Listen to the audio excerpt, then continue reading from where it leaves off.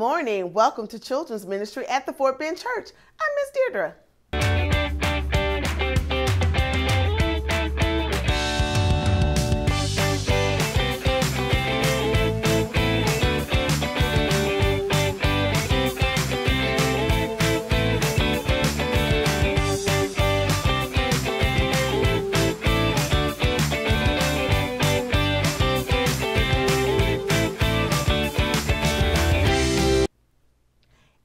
Prayer time. Let us pray. Dear God, please hear our prayer. We praise your holy name. We thank you for your love. We thank you, God, for Jesus, who died on the cross for our sins. Dear God, we thank you for this day. We thank you for the Bible and our church. We thank you for our pastor and our parents. We thank you for our teachers and our friends. We love you, God our Father. Dear God, help us to obey you and make you smile. In Jesus' name we pray. Amen. Let's stand and sing. This is the day.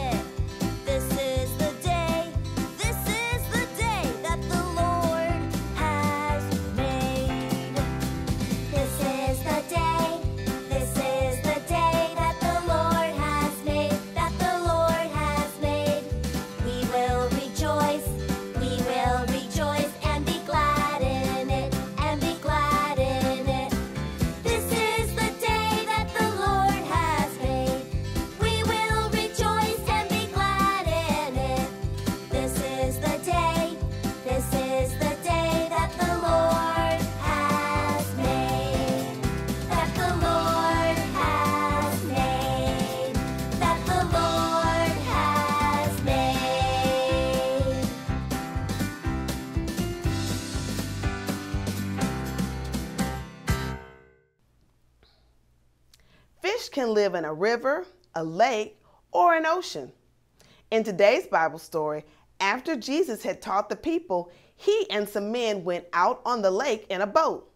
The men had fished all night long, but they had not caught any fish. In this story, we will hear what happened when Jesus told them what to do to catch fish. Today's story is found in the New Testament book of Luke. Luke is one of the Gospels, and the Gospels are the books of Matthew, Mark, Luke, and John. They all tell the same story about what happened when Jesus lived on earth. Today's story is Peter worshiped Jesus from Luke 5. Let's watch that video.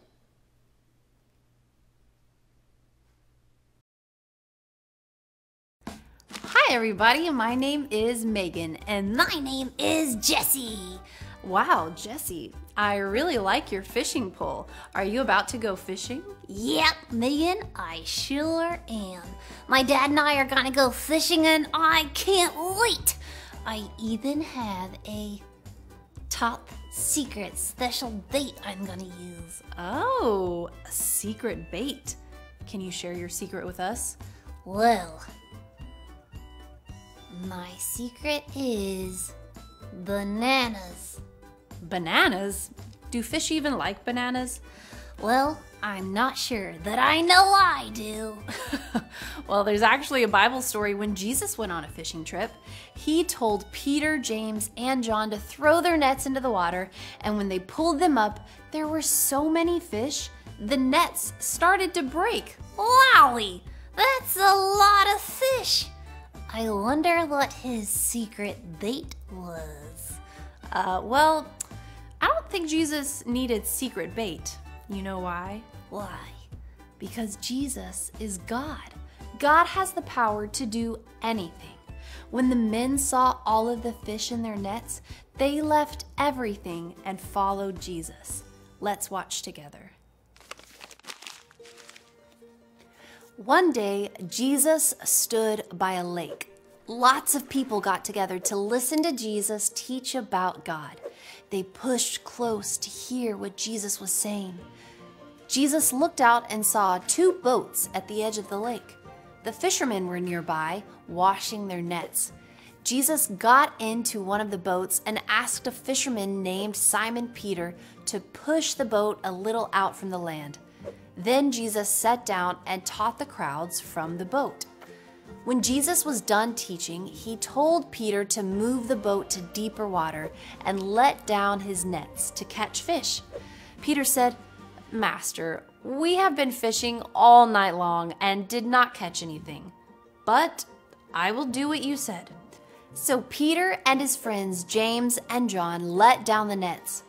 They caught so many fish that the nets began to rip. They called out to the fishermen in the other boat to come and help. Both boats were so full of fish that they began to sink. The fishermen were amazed. Peter fell at Jesus' knees and said, Go away from me, Lord, I am a sinful man. Jesus said, Do not be afraid. From now on, you will gather people instead of fish. Then Peter, James, and John brought the boats to the land, left everything, and followed Jesus.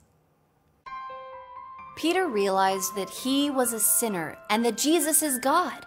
He saw Jesus' kindness and followed him. Jesus invites us to follow him too. He shows grace and kindness to sinners who trust in him.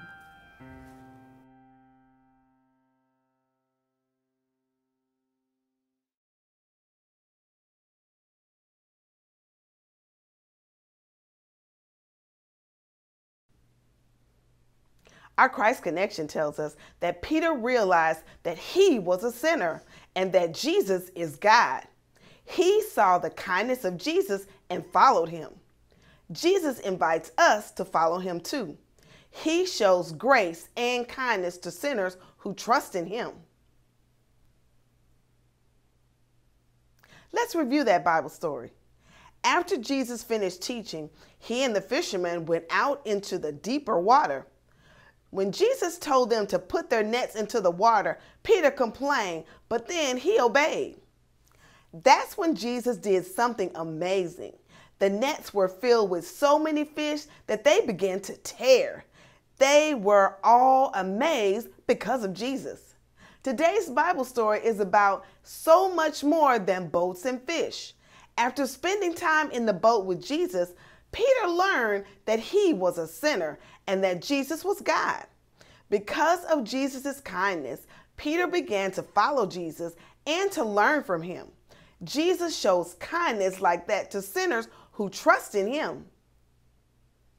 The key passage reminds us that faith is when someone believes something even though they might not be able to see it or even understand it at all.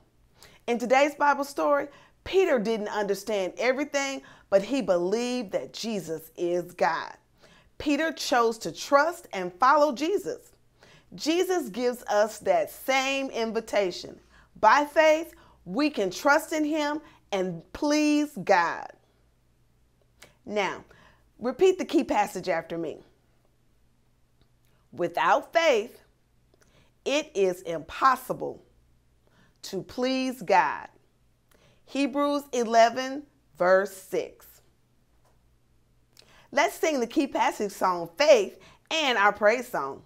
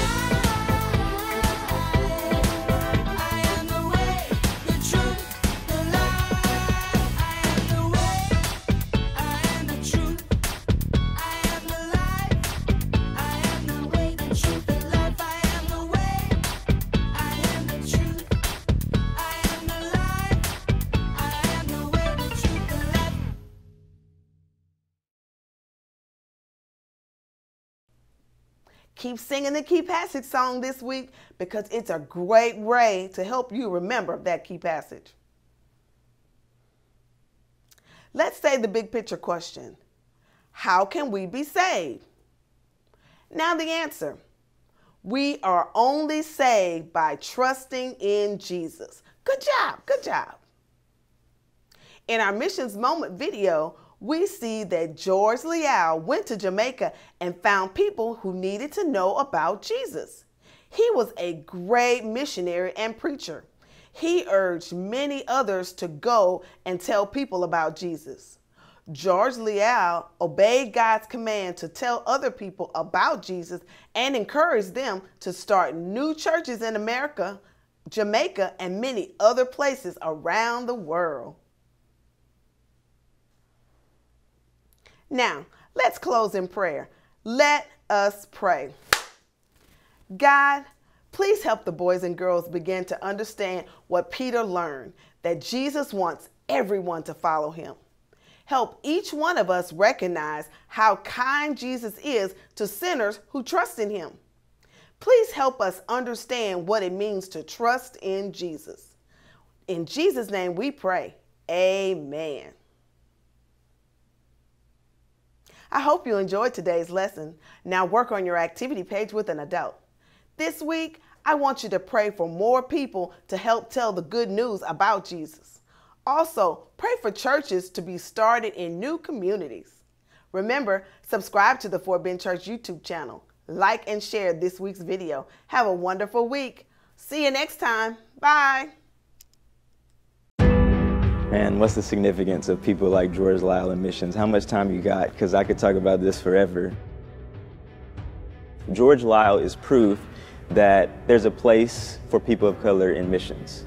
Also, he's proof that God wouldn't even let something as big as slavery keep him from calling this man, this black man, to partner with him in his global mission. So he's proof. He's, a, he's an encouragement to me, people like him. I know there are many other stories that we maybe don't have access to, or, but George Liele is a start. He's a, a start to a story that tells people of color you have a place here in God's global mission. And so I want people to have access to that story. And I hope that we discover many, many, many more stories that we can tell. And I want to be a part of that story. I want my story to be out there not because of me, but because of what it might do for the next generation coming after me.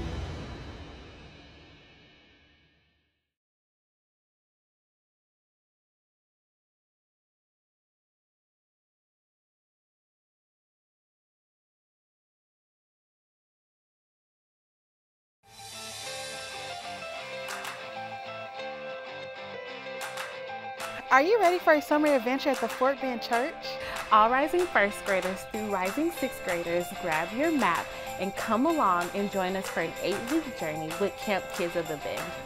Our Camp Hop summer adventure will begin on June 5th through July 28th. That is a full summer full of fun activities, adventurous field trips, as well as exploring and strengthening our connection with God. Each weekly adventure will include a dynamic devotion, fun field trips, and Splash Fridays at the pool. If you're ready for this adventure, visit the church website at www.thebend.org slash Camp Cobb to register. This will be an adventure you don't want to miss.